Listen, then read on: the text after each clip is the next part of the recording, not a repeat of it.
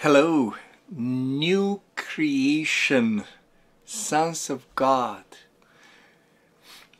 people from God's household, the ones that He knew us. He knew us before the creation of the world, before the first Genesis. He knew us.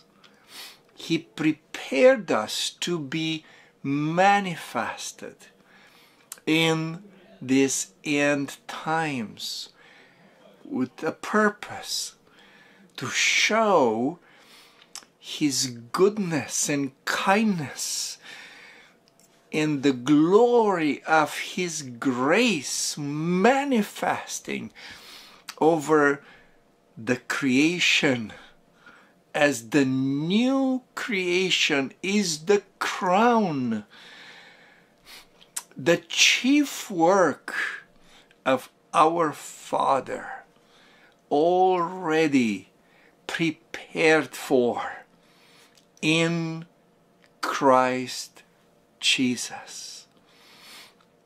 How beautiful, how awesome it is what He's doing and we went in the last few sessions through this new creation description, if you want. And yes, homework.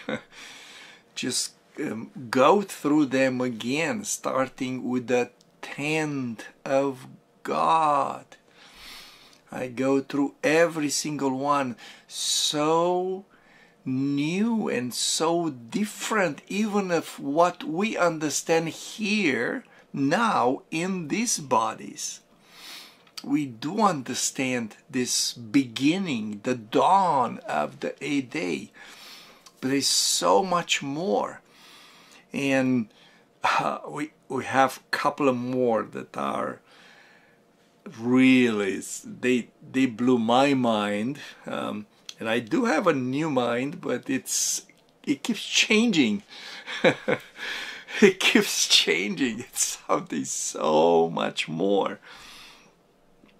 So we are in Revelation chapter 21 and we talked already of the reversal somehow, the rolling up of the first day of creation, it said, let it be light. And now the God and the Lamb are the light. We are the light.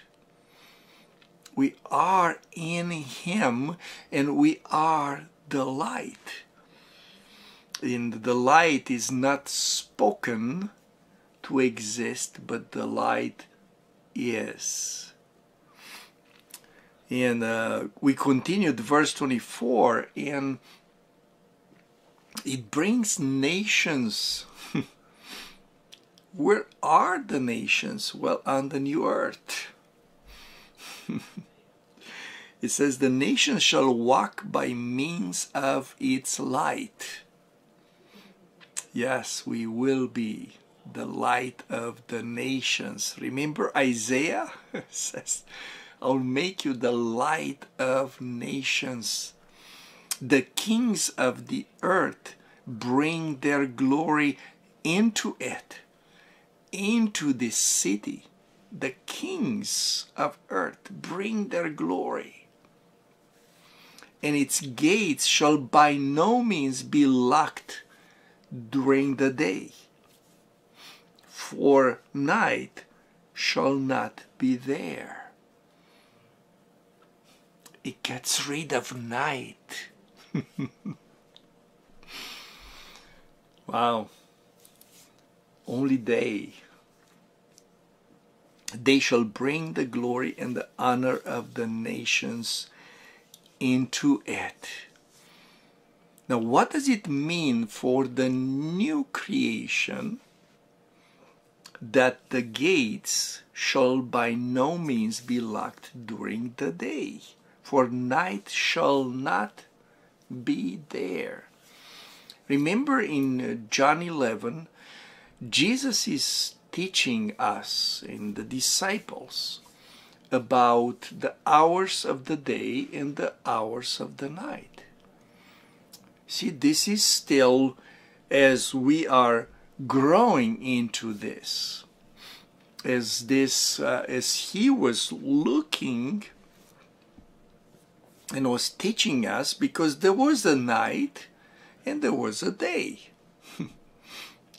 and as we look in there, um, in John 11 9, Jesus answered, Are there not 12 hours in the day? If anyone walks in the day, he does not stumble, because he sees the light of this world. Hmm, the light of this world is the daylight. But if one walks in the night, he stumbles because the light is not in him. And he presented this before when we were talking about the external light and the internal light. External light being when circumstances are matching, it's green light all the way. External night is when none of the circumstances are matching and everything, every sign seems to be against you doing something, going somewhere. But the internal light is a knowing inside the will of my Father is inside me.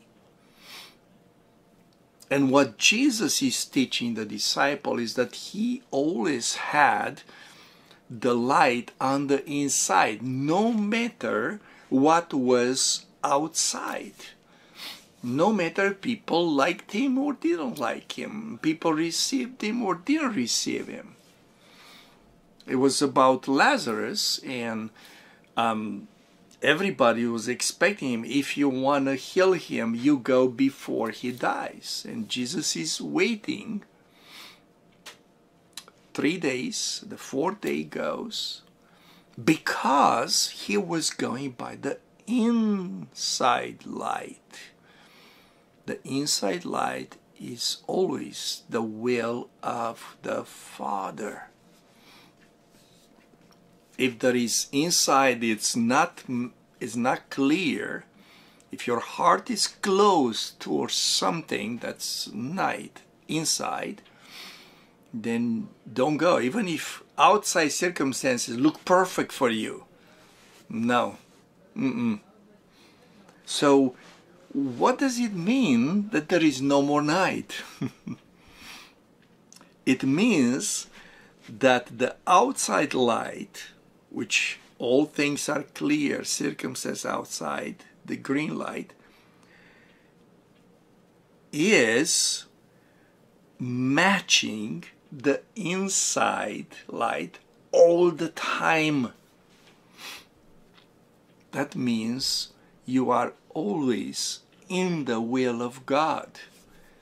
That's the new creation mindset.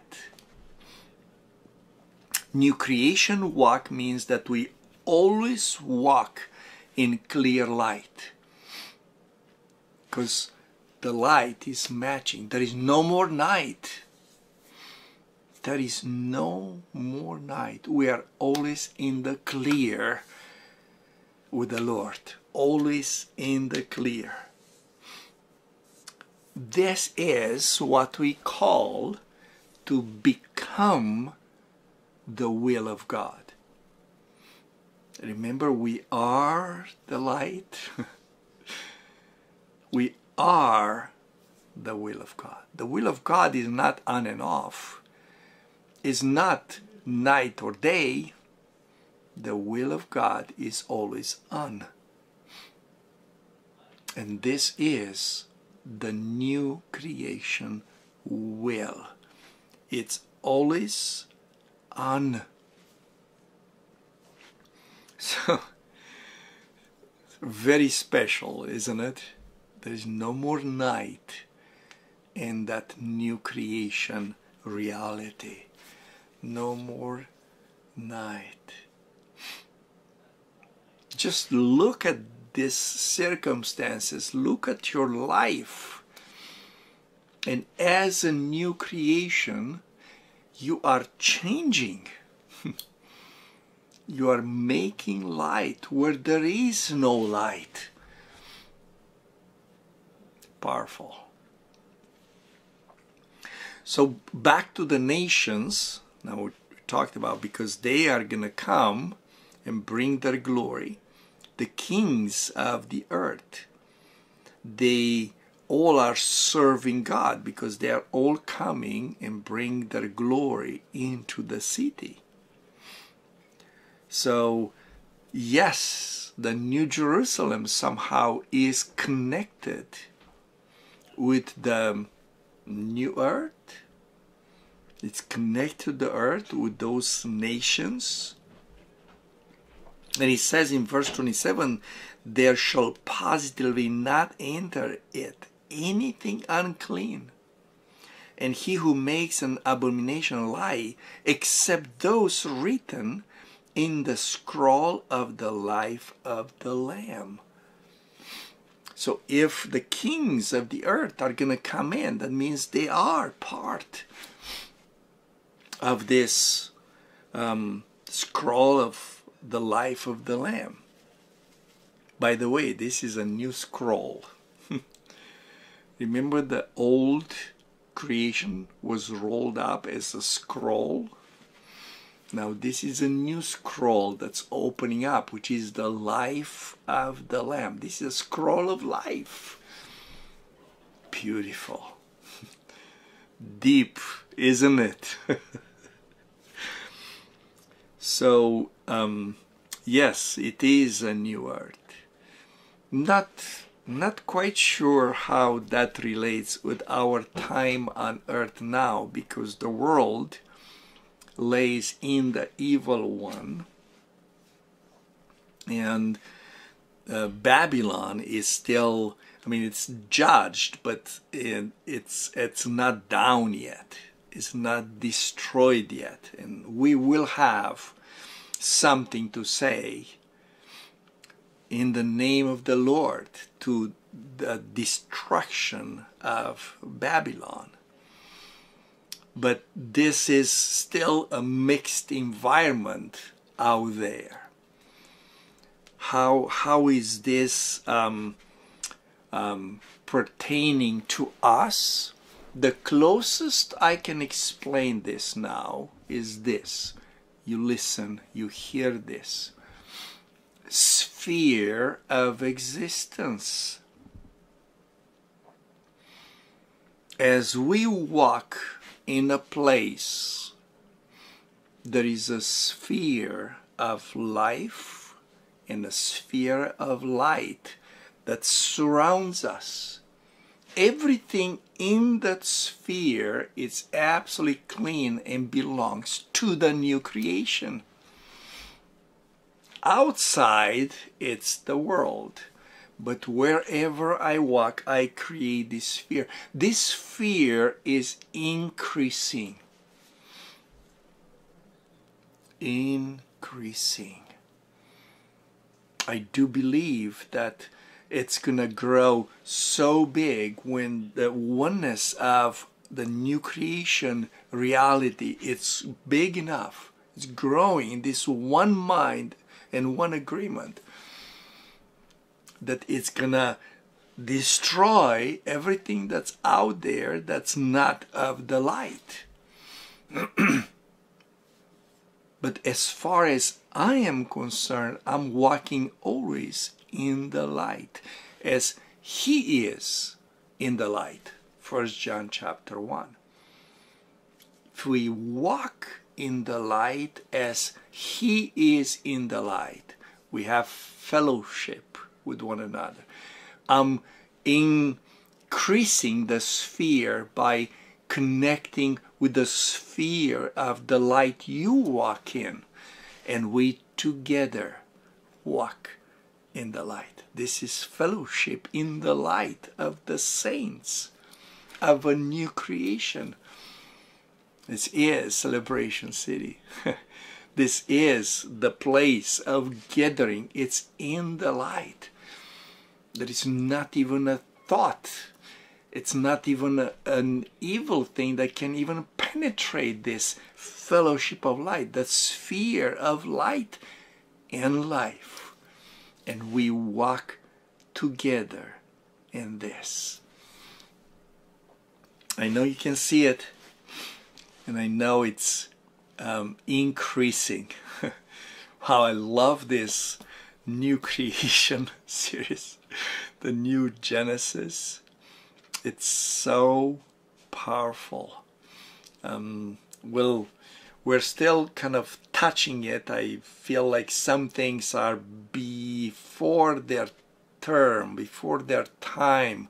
We speak them, we bring them in, and as people are going to listen to this more and more, they're going to enter in because the time it's close.